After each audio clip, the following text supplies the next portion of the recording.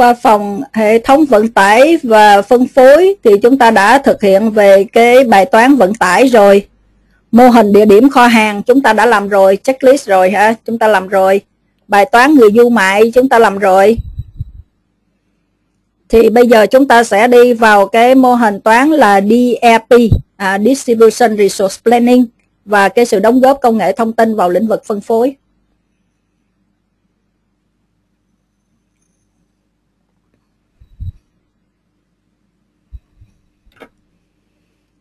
Ờ, uh, distribution resource planning là gì?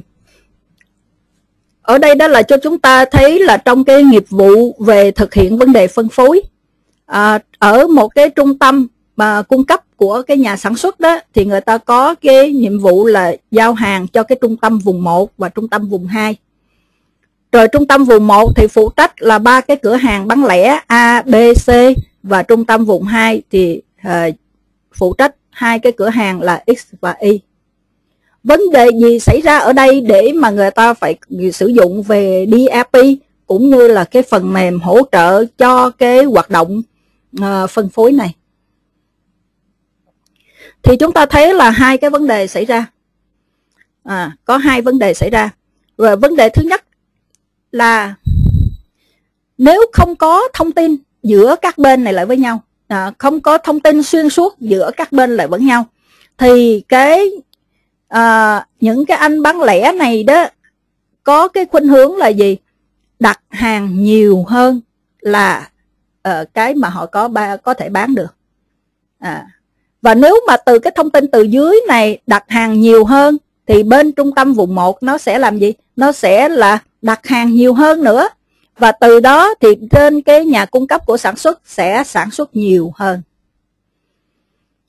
À, và trường hợp đó chúng ta gọi nó là cái trường hợp là hiệu ứng roi da hay là cái uh, hiệu ứng binh whip á. Roi da hiệu ứng roi da roi da là gì? Muốn mà hàng nó đi càng xa thì người ta phải quất cái cái roi da, da nó càng mạnh càng mạnh. À, cái hình ảnh đó cho chúng ta thấy là gì? Muốn mà uh, đánh đi xa thì người ta phải quất cái roi, roi da mạnh lên thì cái cái đầu roi da nó mới Ờ, đến cái đến cái người mà bị đánh đó một cách là nhanh được, phải không? Thì trong này cho chúng ta thấy là cái vấn đề mà thứ hai ở đây đó là gì? Tức là cái, các cái người mà bán lẻ này đó, người ta đặt nhiều thì bên phía sản xuất sẽ sản xuất nhiều, cái nhà cung cấp sẽ sản, cung cấp nhiều. Và cái vấn đề tiếp theo nữa là gì? Nếu mà họ không tiêu thụ hết, cái vấn đề thứ hai đó, thứ nhất là họ đặt nhiều rồi thì bên sản xuất và bên cung cấp sẽ cung cấp nhiều. Và vấn đề thứ hai nữa đó là cái, nếu không tiêu thụ hết được, họ không tiêu thụ hết được thì cái hàng hóa đó bắt đầu là gì? Quay trở về. Nó quay trở về, trả về cho cái nhà sản xuất, thì cái nhà sản xuất và cái nhà cung cấp chịu nhiều rủi ro. Anh đã bỏ vốn ra cho sản xuất rồi. Nhất là sản xuất về bia, người ta thấy rõ ràng trên cái trên cái mặt lưới này đó là sản xuất về bia và phân phối về bia. Một cái chai bia như vậy đó người ta ờ, sử dụng là trong cái thời hạn sử dụng nó 6 tháng. Nhưng mà chừng 4 tháng là người ta phải thu hồi nó. Bởi vì nếu mà để qua tháng thứ năm, qua tháng thứ sáu đó, thì cái chất lượng bia nó sẽ không còn ngon như trước nữa. Vì vậy mà nếu mà các cái cửa hàng này người ta đặt nhiều, thì anh Ờ, các cái cửa hàng này người ta đặt nhiều, thì bên sản xuất người ta sản xuất nhiều. Người ta phân phối về cho các cái trung tâm này và cho các cái cửa hàng. Rồi bán hàng không được thì nó hàng nó quay trở ngược lại. Thì có phải là cái rủi ro đó càng về đầu nguồn, tức là về sản xuất cũng như là các cái nhà cung cấp, họ sẽ chịu rủi ro.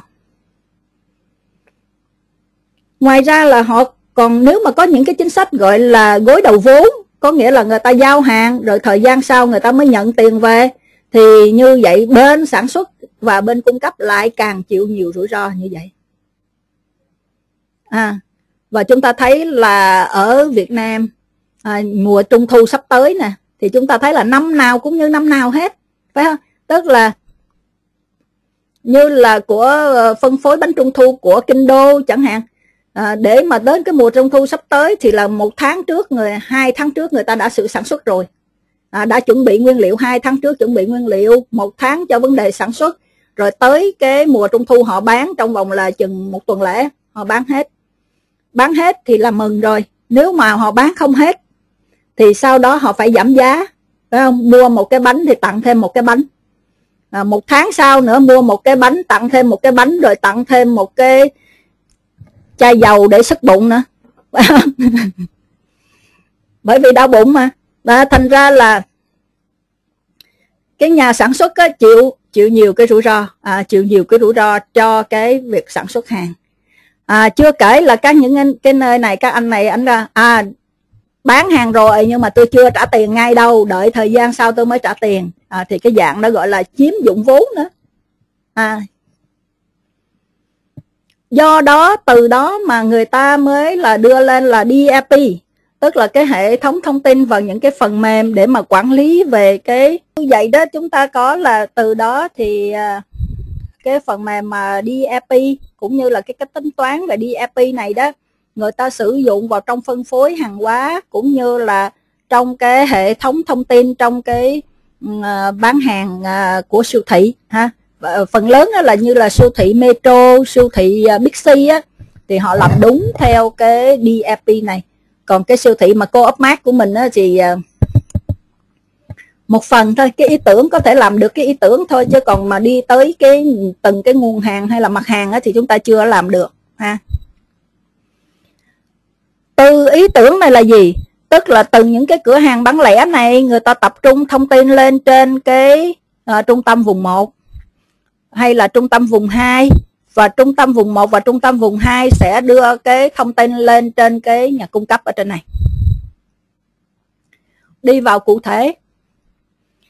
Thì những cái thông tin này đó nó sẽ tập trung lên trên và người ta sẽ có chính sách là mỗi cửa hàng như vậy được quyền được quyền là tồn trữ bao nhiêu. À, anh được quyền đặt hàng anh tồn trữ bao nhiêu. Thì hiện nay trên ờ, trên thực tế ở Việt Nam á, thì ờ, phần lớn những cái doanh nghiệp nước ngoài đó như là Nestle, uh, ờ, Honsim, uh, Nestle là thực phẩm, Honsim là cho cái uh, xi măng, uh, thuốc tây của uh, phân phối thuốc tây của Zetem uh, thì người ta làm được của thụy sĩ đó uh, thì người ta làm được trên cái hệ thống DERP này. Còn đối với lại những cái uh, công ty về uh, uh, Coca-Cola, Pepsi thì người ta cũng làm trên DAP uh, ờ, cũng tương đối là khá tốt. À, còn doanh nghiệp Việt Nam nhất là number one nó thì là có cái hệ thống này rồi nhưng mà chưa biết sử dụng. À, chưa biết sử dụng nó làm sao. Ừ đó do đó là chúng ta thấy là đây cửa hàng A người ta có cái nhu cầu à tuần thứ nhất tuần thứ hai tuần thứ ba tuần thứ tư. Thì trong đó tồn kho của họ đây là 125 rồi. Thì do đó chúng ta có là gì? Mục tiêu là cần cái lô bao nhiêu thì người ta cấp bấy nhiêu à. 125 chúng ta trừ 50 thì còn lại 75 75 trừ 60 còn 15 15 này thì không đủ cho 50 do đó họ phải đặt thêm là 35 nữa. Và giao trước đó là giao một tuần, các anh chị ghi là cửa hàng A nè, thì cái thời gian giao hàng là một tuần. Vì vậy họ đặt hàng vào tuần thứ hai thì họ nhận vào cái tuần thứ ba. 35 này cộng 15 thì đủ 50 rồi. Tuần thứ tư cần 60 thì họ phải đặt hàng tuần thứ ba. À, tuần thứ tư cần 60 thì họ đặt hàng tuần thứ ba nè. À, để giao cho đây. Và người ta giao hàng cho cái tuần thứ tư này. Cửa hàng B thì chúng ta ghi thêm là thời gian giao hàng là một tuần. Cửa hàng B đó chúng ta có ghi là thời gian giao hàng là một tuần nè chúng ta có là tồn kho là 160 trừ 80 ở đây chúng ta còn trong kho 80 80 trừ cho cái uh, tuần thứ hai là 60 chúng ta còn 20 20 này thì không đủ cho tuần thứ ba là 70 do đó là tuần thứ hai chúng ta lo đặt hàng thì tuần thứ ba chúng ta nhận vào 50 cộng tồn kho 20 là đủ 70 cho đây. Tuần thứ tư cần 70 thì chúng ta đặt hàng ở tuần thứ ba cửa hàng C thì các anh chị ghi là thời gian giao hàng là hai tuần. Cửa hàng C đó thì chúng ta ghi thêm là thời gian giao hàng là hai tuần.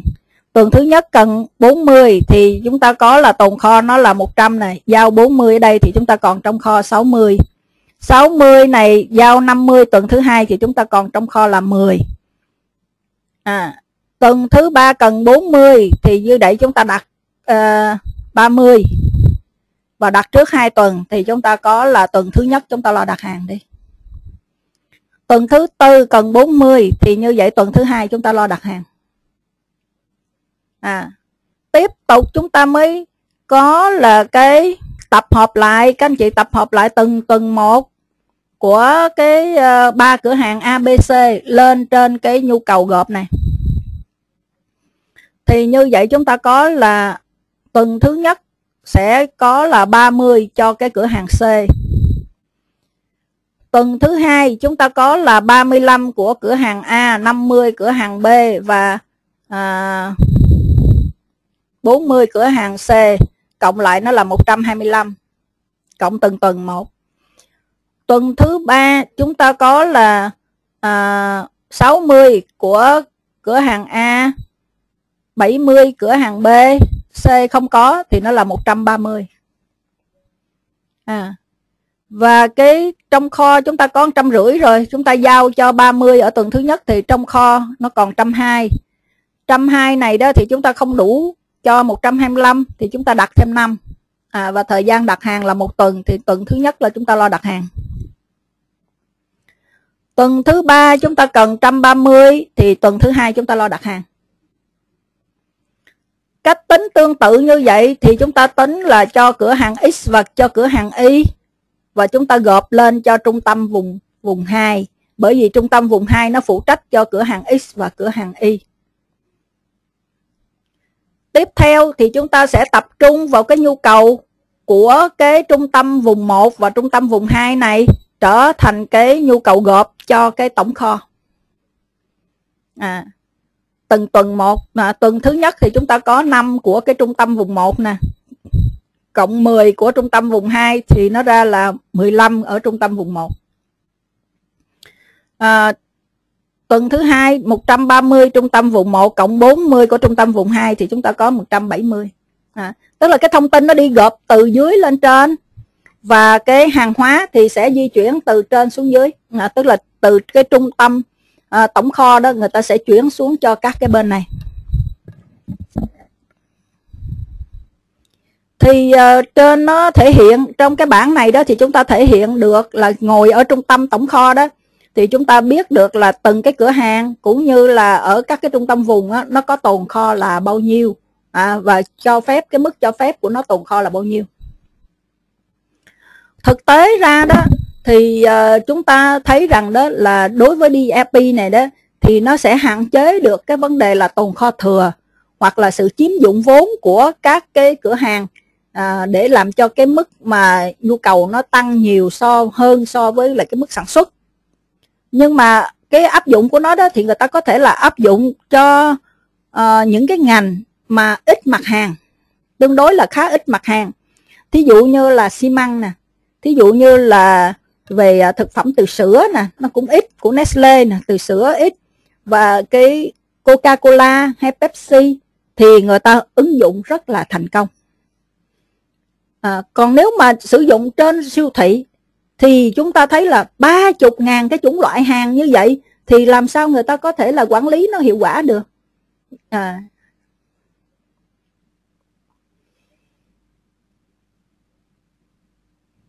thì cái bài toán đó lúc đó người ta sẽ chia ra. À, nếu mà có nhiều cái mặt hàng như vậy thì họ bắt đầu phải họ phải chia ra. Ví dụ như là cốt mắt chẳng hạn có ba chục ngàn cái chủng loại thì lúc đó họ phải chia ra là thuộc về cái nhóm ngành hàng nào. Và họ khoán cho là những nhóm ngành hàng đó thì họ à, được sử dụng bao nhiêu cái diện tích về cái kệ à, mặt bằng hoặc là kệ để phải phải họ phải khai thác để đem lại cái hiệu quả kinh tế à, lúc đó đi ep người ta không tính được trên một cái chủng loại hàng nữa mà người ta sẽ tính trên một cái họ một cái họ à, sản phẩm. Thí dụ như họ chăm sóc về à, à, sắc đẹp à, thì chúng ta có kem đánh răng sữa rửa mặt sữa tắm sữa dưỡng thể vân vân. À, thì nó là đi nằm trong một cái họ sản phẩm như vậy.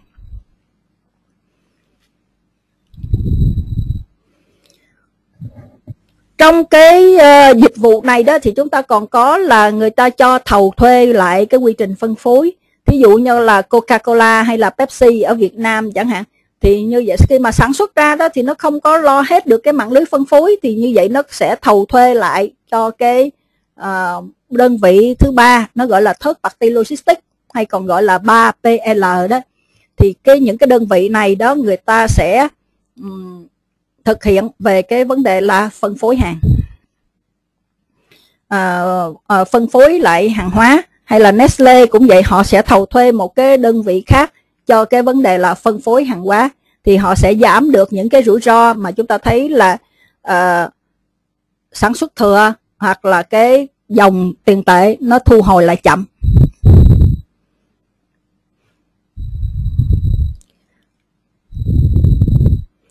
À, lợi ích gì khi vừa sử dụng cho thầu thuê lại? Thì chúng ta có lợi ích về tài chính nè tránh cái chi phí thành lập cái hệ thống phân phối. Lợi ích về nhân sự là thu tuyển những người có tay nghề hay là kinh nghiệm. Lợi ích về công nghệ là tiếp cận nền công nghệ thông tin về vật lý cận đại nhất nè. Tức là chúng ta có là gì uh, hệ thống thông tin và trong đó là DAP đó để mà người ta quản lý về cái um, số liệu uh, cái thông tin phân phối tính uyển chuyển là khả năng tránh được những cái rối loạn do lao động. Tức là nếu mà chúng ta thầu thuê bên ngoài thì chính những cái đơn vị thầu thuê sẽ thực hiện về vấn đề thực uh, làm những cái dịch vụ về phân phối đó.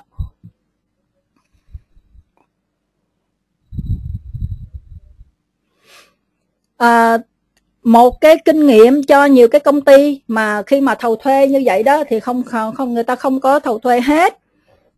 100% mà những cái gì cốt lõi của họ thì chính họ phải thực hiện còn những cái gì mà à, chúng ta thấy là à, có thể phân bổ được cho cái vấn đề là phân um, chia sẻ được thì lúc đó họ sẽ thầu thuê ví dụ như là một cái công ty về Senbury nè họ giữ lại cho nội bộ là 35% à, còn cái bao nhiêu thì họ sẽ thầu thuê à.